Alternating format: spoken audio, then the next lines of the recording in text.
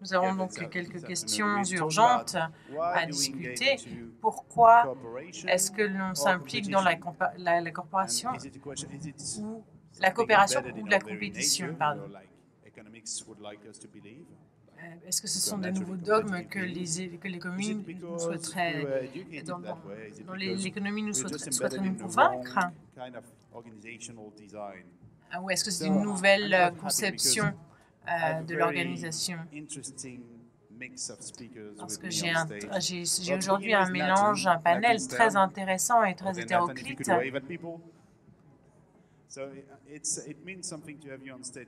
C'est um, significatif pour moi d'avoir de vous avoir euh, comme partie prenante de ce panel, parce qu'on a parlé de se débarrasser des masques. Et effectivement, quand on se débarrasse des masques, cela veut dire qu'il n'y a plus de barrière, il n'y a plus de, de limite. Vous n'êtes plus une fonction, vous êtes une personne. Donc les, uh, Parfois, il y a des tensions qui peuvent surgir, euh, notamment quand, quand l'ambiance se réchauffe au sein du festival WeShare. Nous avons John Alexander pour, dans le projet de la nouvelle citoyenneté. Peut-être que vous vous souvenez de cette personne, Lumio, qui faisait partie euh, des nominés euh, l'année dernière au WeShare. Et je suis donc euh, ravi de vous rencontrer euh, en personne. Et je suis également ravi de rencontrer M. Charles Eisenstein, qui, euh, qui s'implique dans le WeShare depuis déjà très longtemps. Et enfin, mon ami Oscar Barda, qui est un concepteur de jeux en dehors de ma passion pour euh, la philosophie grecque et la, euh, euh, le capitalisme burst. J'aime bien toujours essayer d'adopter de, nouveaux, de nouveaux angles de, de perception. J'ai pensé qu'il serait intéressant d'avoir un panel collaboratif et nous essaierons donc de procéder comme dans la Grèce antique. Nous sommes à Athènes Imaginez-vous. J'ai déjà beaucoup trop parlé, je, maintenant je vais vous laisser la parole. Je vous fais confiance. La première question serait peut-être la suivante.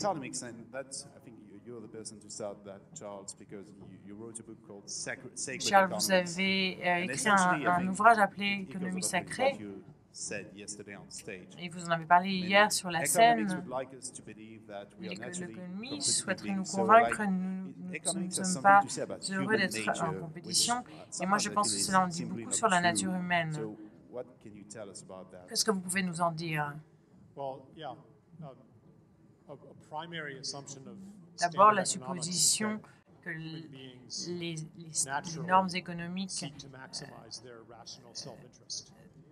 à dire que euh, l'être humain essaye de maximiser euh, euh, ses intérêts. Et cela semble vrai, s'il y a deux produits, eh bien évidemment, on aurait tendance à acheter le, celui qui est le moins cher. S'il y a deux possibilités, vous prenez la, possibilité qui offre de meilleures possibilités de profit.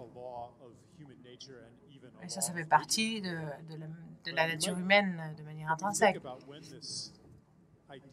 Mais ce que l'on essaie de, se, de se souvenir, depuis quand cette idée est devenue dominante dans un contexte de grande compétitivité dans, au sein de la société, eh bien, dans la nature biologique, dans la nature de la société, eh bien, on, on projette euh, cela sur nous. La question serait peut-être la suivante. Est-ce que la nature humaine est coopérative ou plutôt compétitive? Qu'est-ce qui, fait ressortir l'aspect compétitif? Qu'est-ce qui fait ressortir le côté coopératif? Et comment est-ce qu'on crée une société et une économie et une façon de penser qui améliore la collaboration plutôt que d'opposer de, ces deux instincts, notre instinct pardon, à collaborer. Nicolas qui soutient d'ailleurs cette idée. Oui, effectivement. Pour moi, ce projet s'appuie sur deux, euh, sur deux projets. J'ai travaillé, j'ai fait énormément de travail théorique sur la question et une des questions qui m'obsède,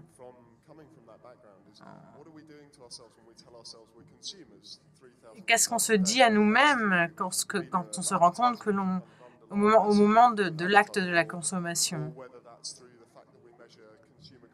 Est-ce que c'est comment est-ce qu'on mesure la, la confiance de consommation, par exemple? quel type de contributions euh, font partie du, du, scénario? Nous avons fait un peu de recherche et peut-être qu'on peut lancer les visuels là.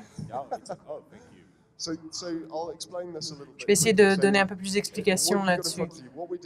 Ce que nous avons fait ici, c'est qu'il y avait 3000 personnes qui travaillaient avec vous, avec des agences très, très réputées.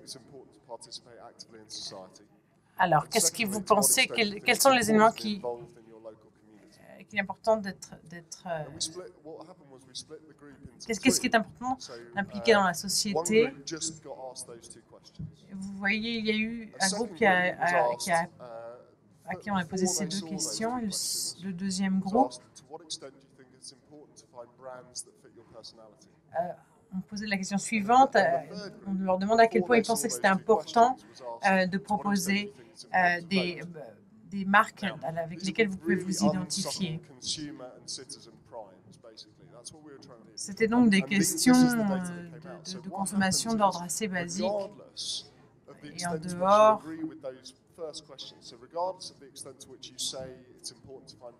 de la considération que vous pouvez avoir pour ces questions-là, il semble que ces déclarations, même avant de répondre sur cette implication,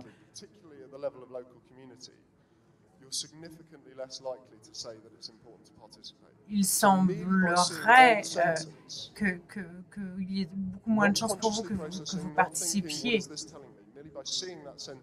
à ces processus justes.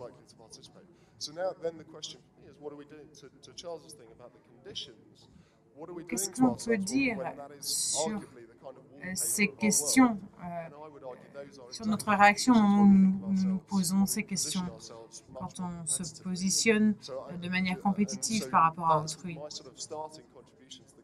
C'était ma, ma, manière de commencer la, mes apports à la, à la discussion.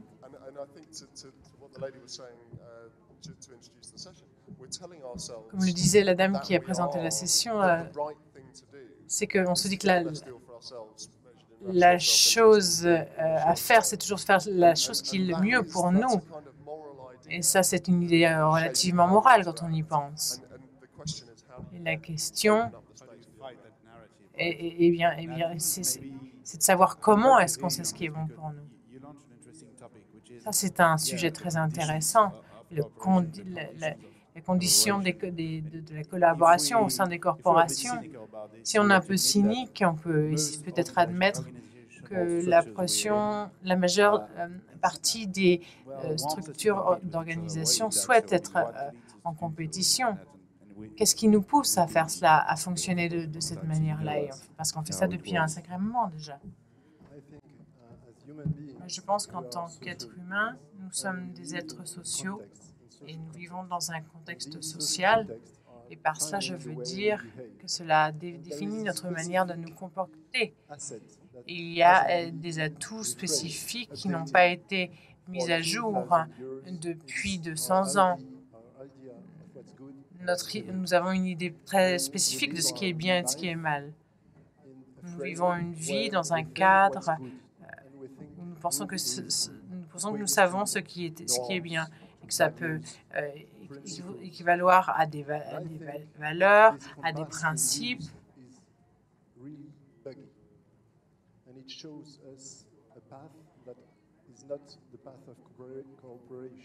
Et évidemment, cette nouvelle voie est un, est un... Ce que je veux dire par là, c'est que nous ne sommes pas aussi coopératifs que nous, nous, nous, souhaiterions l'être. Et la manière dont nous définissons les valeurs et, et, le, et les, biens euh, est très variable. Si on pense à cette phrase innocente, ne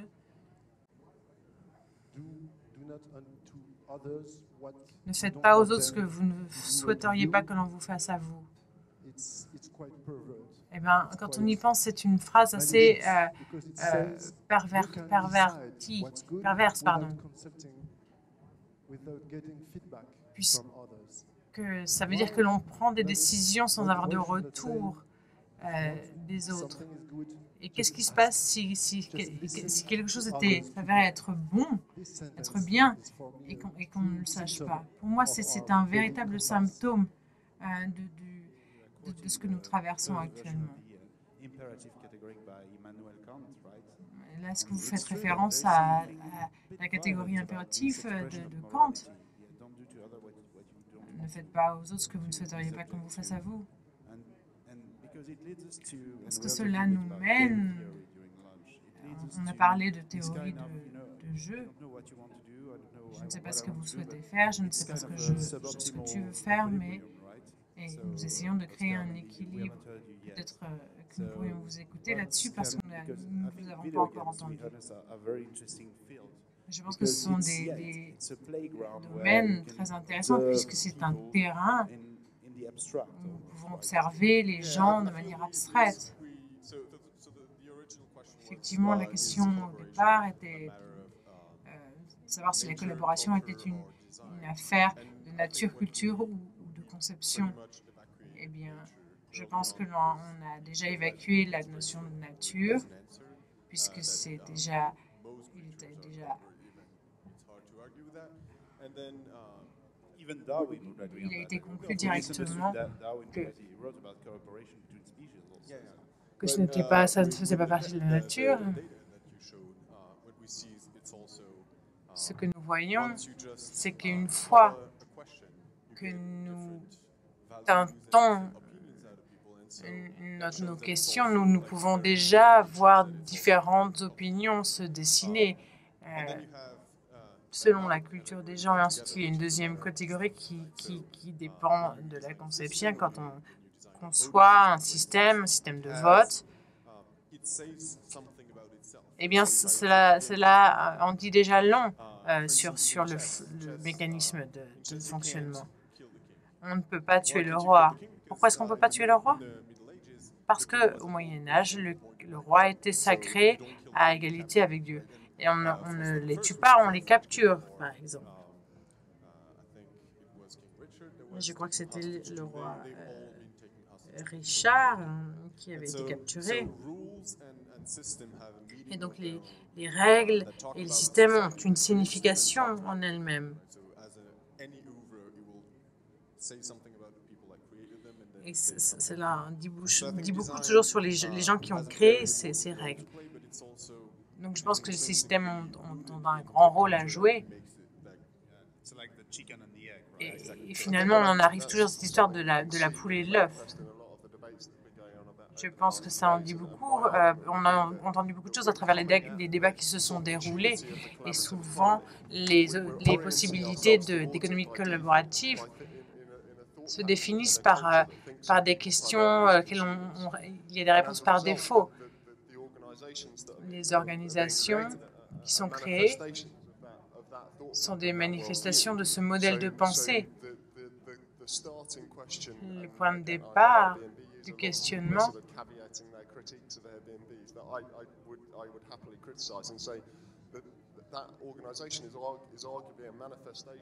par exemple, je pense que Airbnb pourrait être une représentation, une manifestation de la, perception de, ce que le monde euh, euh, pourrait être.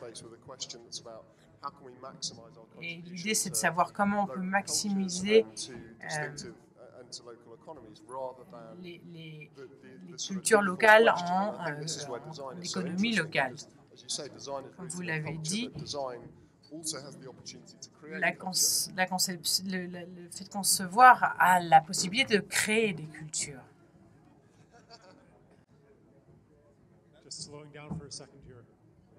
Est-ce qu'on peut euh, calmer le jeu un peu ici, deux secondes? J'ai une histoire qui me revient en tête.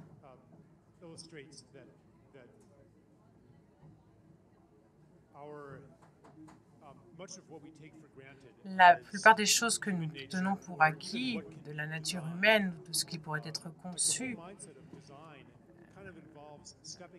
implique de se mettre en retrait du système en tant que concepteur et l'opposer à la réalité qui se trouve en dehors de nous-mêmes. Mais la réalité est bien, plus compliquée. Nous, faisons des, concevons d'après un contexte et ensuite notre conception change ce contexte et, vice-versa. C'est un, processus beaucoup, plus organique et cette, ce comportement de, de séparer euh, des, des, des, concepts est, très unique à notre, à notre ère. Il y avait cet anthropologiste qui pensait essayer de faire ressortir l'aspect compétitif euh, d'enfants d'une tribu. Donc il y avait un panier avec des fruits, des bananes dedans, qu'il avait disposé dans, des arbres. Il avait dit aux enfants, OK, c'est une course. La, première personne qui arrive à l'arbre euh, obtiendra ce panier avec des fruits. Et qu'est-ce qui s'est passé? Tous les enfants se sont dirigés en courant euh, et sont tous arrivés en même temps à l'arbre. Et, le, type, l'anthropologiste, l'anthropologiste a demandé à l'enfant le plus rapide pourquoi il ne s'était pas pressé. Et l'enfant a répondu, Ubuntu. Comment est-ce que je pourrais être content si mes, si mes amis ne le sont pas? Il avait compris qu'il ne ne, voulait pas, qu'il ne pouvait pas être séparé de ses amis, que sa propre, son propre bonheur était lié à la présence de ses amis. Et ça, ça, je trouve que ça en dit long. Je pense que les entrepreneurs qui ont commencé ces, ces concepts d'Airbnb et, autres, ils ont probablement une, une, intention très idéaliste au départ. Ils ont une vision magnifique au départ. Et Ensuite, ils doivent s'affronter aux, contraintes euh, de, notre conception économique, par exemple. Et nous voyons cela à chaque fois lorsqu'il faut répondre aux besoins du marché, des euh, euh, bailleurs de fonds. je pense que cette histoire de conception s'ancre dans un dans une réalité profonde. Oui, je suis vraiment je me demande euh, comment commencer depuis là où nous nous situons actuellement. Comment est-ce qu'on peut avancer dans ce système Comment on peut euh, dessiner un nouveau système Et je, suis d'accord avec vous. Je ne sais pas si les gens ont entendu la présentation de Jeremiah hier, mais il y avait vraiment euh, des, des, motifs, des, des, explications très, très amusantes sur le pourquoi de ces organisations.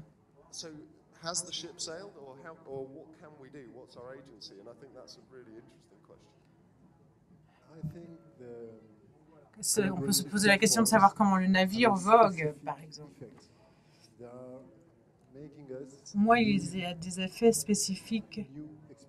Il faut, il faut elles mènent à des nouvelles expériences. Et seulement ces expériences peuvent véritablement faire évoluer la culture. Je pense que ces expériences que nous traversons, quand on, on dort dans notre lit, qu'on se douche dans notre salle de bain, eh bien c'est c'est une expérience qui nous fait changer notre vision que nous avons de l'autre. Cela nous apprend à nous adapter. Donc, ce que nous devons faire lorsque nous, sommes, sur une plateforme, ou dans l'environnement d'une plateforme collaborative, c'est de, nous adapter les uns aux autres. Si on ne veut pas être euh, euh, évité, mis dehors de ces plateformes. Il faut se concentrer sur le fait du bien vivre ensemble. Cela crée des possibilités de, se, de mettre l'accent, euh, de se concentrer sur la satisfaction euh, de, nos pères, sur le, sur le, quand vous parliez du navigue, faire, naviguer le, navire, et quand on pense à la manière dont ces plateformes se traitent les unes les autres en termes de consommation, de consommateurs, pardon, quand on note, par exemple, et qu'on laisse des commentaires sur telle ou telle personne, sur un service donné, sur une prestation, eh bien,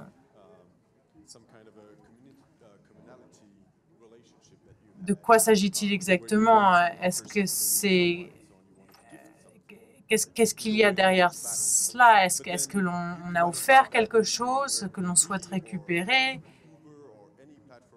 sur des plateformes comme Uber ou Airbnb? Eh bien, je dirais que leur discours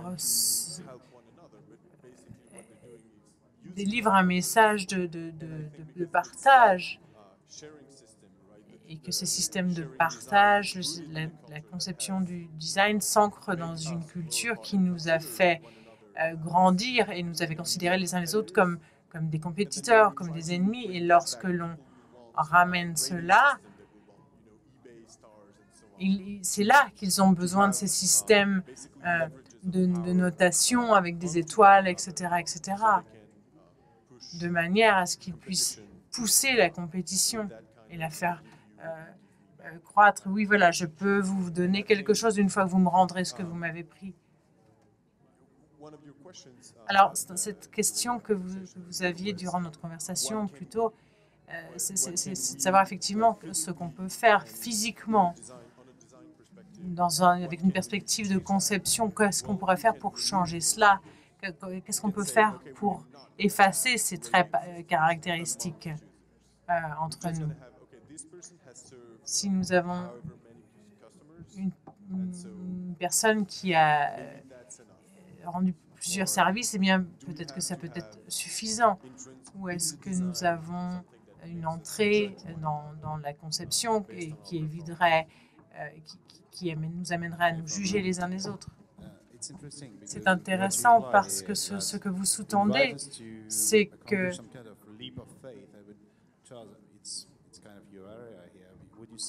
est-ce que vous diriez que le changement d'une économie de dons, c'est une prise de risque.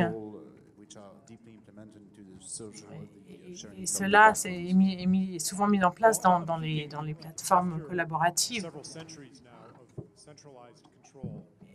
Dans nos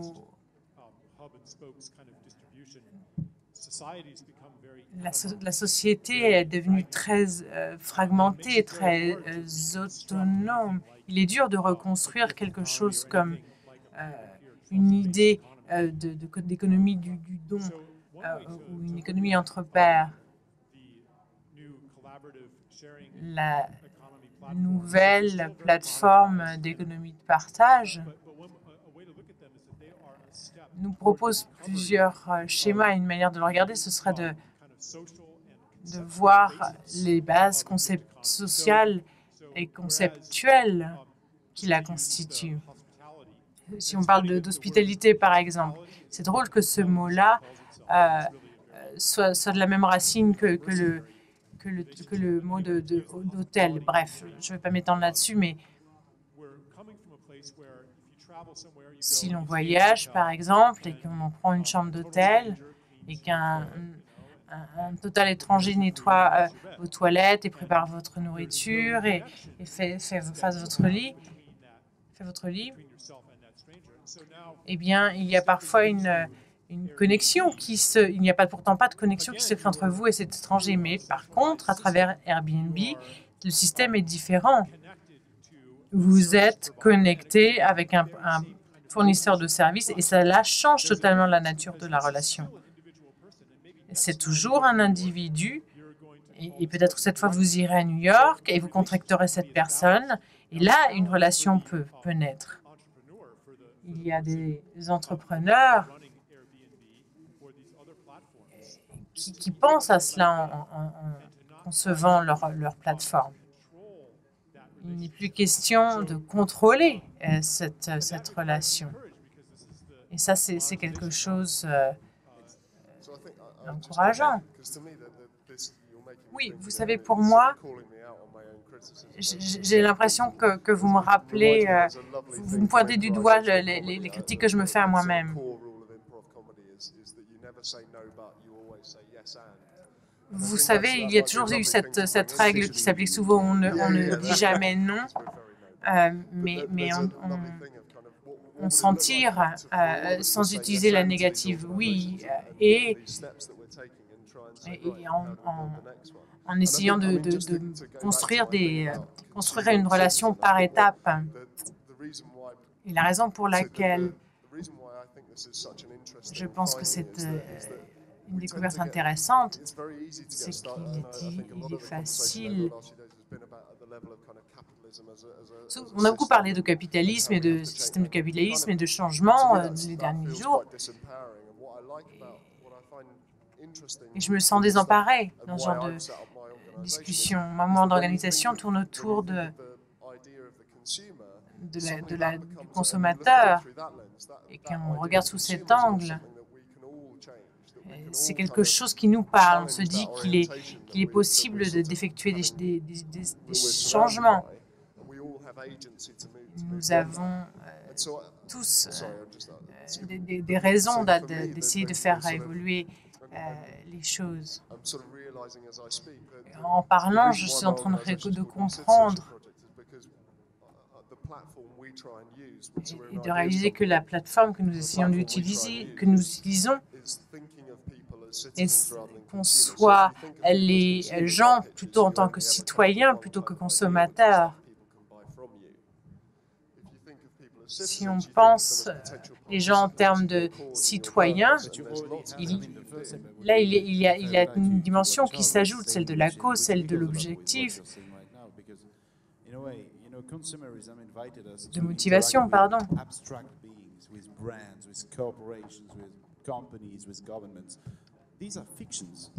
Vous savez, toute cette euh, kyrielle de dénominations, finalement, au bout d'un moment, résonne plutôt comme, comme si, comme si c'était des personnages de fiction. Pour moi, je trouve ça difficile d'interagir avec une autre personne. Si on interagit avec une autre personne, un citoyen, au lieu d'avoir une idée abstraite du consommateur, je souhaitais euh, répondre à Oscar là-dessus. Je pense qu'actuellement, on se débarrasse d'un système de représentation. Il y a 12 ans, je travaillais sur un, réseau social, un, local, qui s'appelait Peuplade, qui aidait les voisins à créer des liens les uns avec les autres. Et de manière idéologique, j'étais hostile à un système de réputation. Et ça m'a coûté énormément. Et ça a coûté cher à ceux qui s'étaient impliqués dans le projet. Parce que nous ne sommes pas formés pour coopérer. Nous, devons apprendre. C'est une nouvelle compétence à acquérir. C'est plus, plus facile de consommer, euh, de consommer plutôt que d'être un, citoyen euh, impliqué engagé. L'idée, c'est de d'éveiller notre, euh, nos consciences. Il s'agit d'une expérience transformative et, d'être jugé par ses pairs avec bienveillance, avec ouverture. Et je pense que toutes ces compétences ne, sont pas tout à fait euh, enracinées. Il faut les développer davantage. Comme vous le disiez, c'est une voie difficile, mais il nous faut l'apprendre nous, pouvons, être convaincus de, pouvoir résoudre une difficulté et, avoir des différences. Si nous sommes dans des positionnements différents, par exemple hiérarchiques, d'autorité, eh bien, on peut, peut essayer de s'interroger sur nos différents points de vue. Et pour revenir au panel, eh bien, on peut se demander comment on peut changer un modèle reposant sur, euh, de société reposant sur la hiérarchie avec, avec, euh, pour un autre. Pour une idée, un, un système on s'autoriserait plutôt à, participer, à faire un, apport euh, pour résoudre un problème.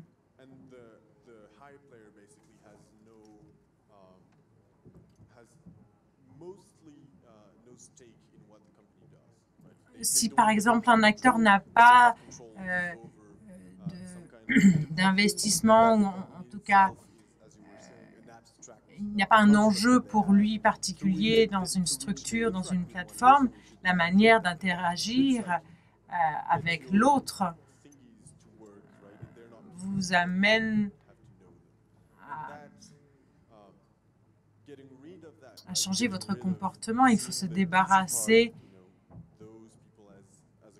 de ce jugement facile que l'on peut porter sur un groupe. Euh, et c'est quelque chose qui me semble important euh, dans, ce moment de transition. Et comme vous le disiez, nous sommes euh, perdus en transition. Comment est-ce que je peux faire confiance en cet utilisateur? À quel système puis-je avoir recours pour juger un, un être humain par rapport à un autre? Comment est-ce qu'on fait confiance à un nom d'utilisateur sur Internet? J'ai confiance parce que c'est tout, c'est le cas. Parce que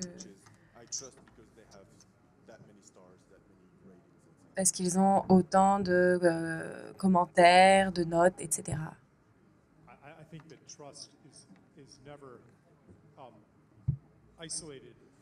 Je crois que la confiance va toujours avec des, signaux, des signes rationnels et un contexte social.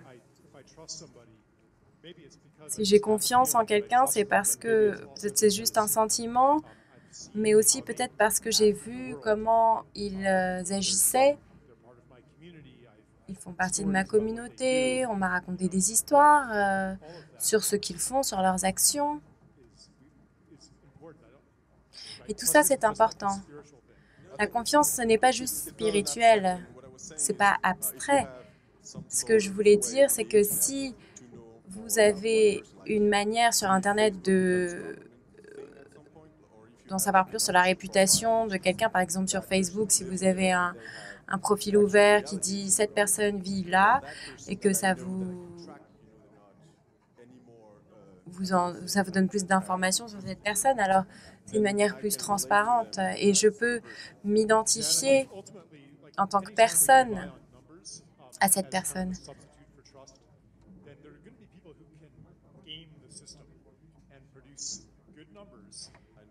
Mais il y a des dérives à, ça, évidemment. Il y a des personnes qui vont pouvoir détourner et, il n'y a pas de substitut à la quantité Et la conception du monde moderne fait que peut. Il est difficile de distinguer la qualité et la quantité. Et tout ce qui nous permet de l'identifier, c'est les chiffres.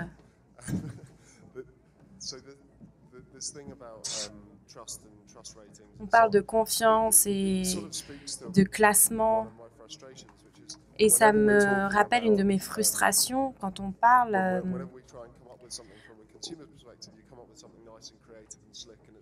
quand on essaye de trouver quelque chose de créatif et de structuré qui fonctionne bien pour nos clients et quand on essaye de le remettre en question, et la solution dans ces cas-là a toujours tendance à être juste ne le faites pas. Quand on parle aux gens comme des consommateurs, ou comme des citoyens ou des participants, la créativité varie. Par exemple, euh, sur chaîne 3 de la BBC.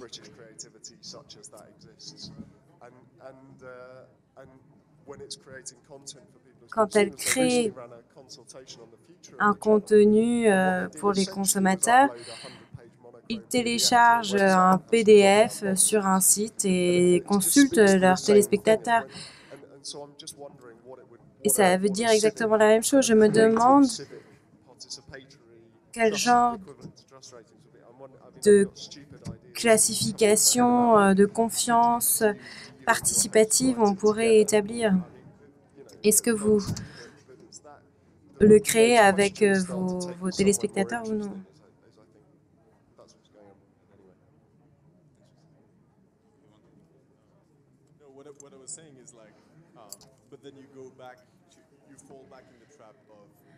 Et après, on retombe dans, dans, le piège euh, de la consultation euh, de masse. On veut consulter tout le monde. Donc, il faut introduire des systèmes de vote qui ont une rhétorique en soi, des systèmes de classification ou à plusieurs tours il y a toujours, ce n'est jamais neutre. À chaque fois que vous concevez un système d'expression pour un grand groupe de personnes, vous devez le réduire en nombre d'une certaine manière, d'une manière ou d'une autre. Pour répondre là-dessus, Charles parlait du fait que nous essayons de faire des approximations on privilégie la quantité sur la qualité. Comment est-ce qu'on évalue une communauté qui est censée être connectée? Par exemple, une communauté de 150 personnes. Dès que vous interagissez avec des personnes que vous ne connaissez pas, je ne parle pas de ma mère, de mes amis, je ne peux pas tous les connaître. Comment est-ce que je peux interagir avec eux? Comment est-ce que je peux coopérer? C'est facile de collaborer avec des personnes que vous connaissez, euh, en, qui vous avez confiance. Mais dès que um, cela devient plus important et qu'on ne sait plus qui est qui, je ne sais pas ce qu'on peut faire. Peut-être qu'on devrait juste arrêter de vivre dans des villes et juste euh, habiter dans des villages. Je ne sais pas, mais par exemple avec Peuplade, vous essayez de connecter des voisins via Internet, c'est ça C'est un peu bizarre, non? La consommation, l'économie collaborative est une vraie force, un vrai moteur de la coopération. Ce sont des exemples de modèles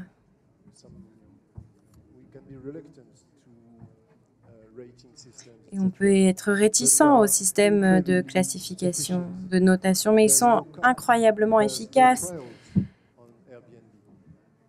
Il n'y a pas de police, de coercion sur Airbnb, par exemple. Ce sont des systèmes sociaux pacifistes comparés à une ville ou une culture.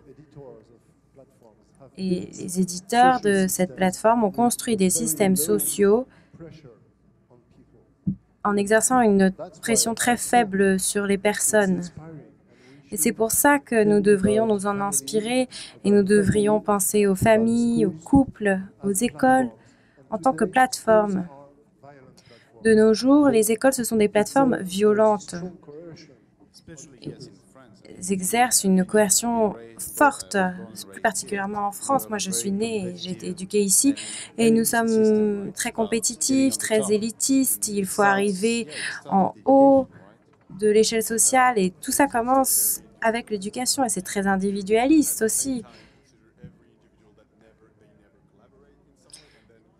On ne collabore jamais. Et en même temps, on efface l'idée de, l'individualité et de la créativité. Tout le monde se tait, c'est moi le professeur. Vous pouvez poser une question, vous ne pouvez pas remettre en question. Je suis tout à fait d'accord, l'éducation, c'est une scène très intéressante. Au Royaume-Uni, il y a une compétition dans les écoles les jeunes consommateurs de l'année que le gouvernement finance. Et c'est fascinant. L'idée, c'est de bien connaître vos droits en tant que consommateur, mais juste penser au, langage, au mode de pensée que cela introduit. C'est une question générationnelle très importante. Qu'est-ce que l'éducation? Comment est-ce qu'on conçoit un système éducatif?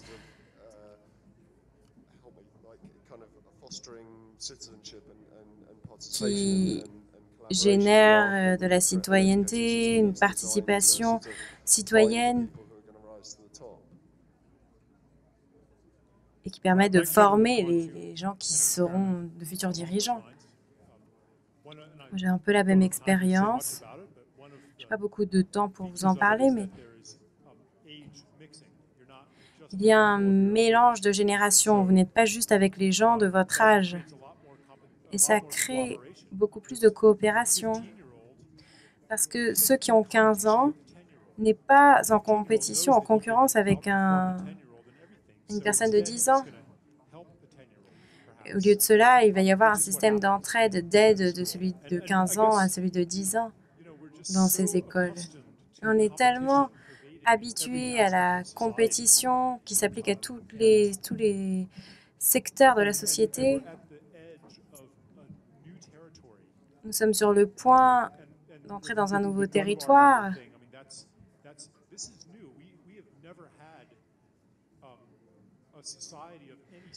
Il n'y a jamais eu de société fondée sur la coopération de manière fondamentale et pas sur la compétition. On ne sait pas comment fonctionner ainsi.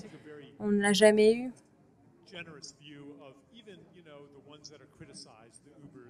Et même s'ils sont critiqués comme Uber, Airbnb, ce ne sont que des expériences pour l'instant. Et tant que nous sommes assez humbles pour se dire, bon, d'accord, ça n'a pas vraiment fonctionné, il faut qu'on opère des changements. Et la seule manière de trouver notre chemin, c'est de se perdre.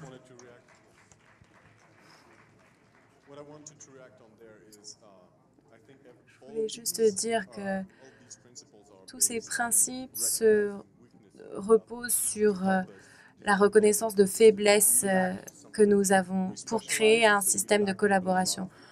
On manque de beaucoup de choses et si on peut reconnaître ce fait, si on peut reconnaître que ce sont des qualités finalement, on reconnaît que nous avons besoin de personnes qui peuvent le faire pour moi. J'en ai besoin parce que en tant qu'être humain, j'ai besoin de personnes autour de moi pour m'aider. Et ce changement de paradigme, de culture, reconnaître des faiblesses comme quelque chose qui fait partie de nous et que l'on ne doit pas cacher mais exprimer pour que cela puisse être reconnu et que d'autres personnes puissent répondre à nos besoins, eh bien, je pense que c'est quelque chose de très important à retenir. C'est difficile euh, quand euh, Charles faire de si belles paroles et de passer après lui. Hein, mais sur l'éducation, il faudrait que on identifie où est l'économie collaborative et, et reconnaître que cela fait partie d'un mouvement global. Et on ne peut pas juste l'appliquer euh, au secteur de l'éducation. On ne parle pas juste de l'Internet, des plateformes technologiques, on parle de personnes qui explorent euh, de différentes manières dans différents endroits. Et de voir cela dans sa totalité, c'est assez puissant et ça provoquera des changements puissants. Vous avez les derniers mots. On a besoin d'une boussole qui fonctionne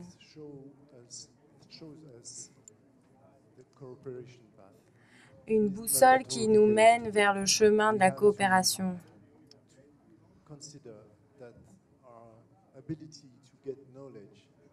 Notre capacité à obtenir un savoir sur ce que les autres pensent et ressentent, ce savoir est faible de nos jours. On doit le développer, on doit améliorer nos capacités à ressentir l'interdépendance. Voilà, c'est tout ce que je voulais dire. Merci beaucoup très belle discussion. J'étais heureux de pouvoir en discuter avec vous sur la scène. Merci à tous.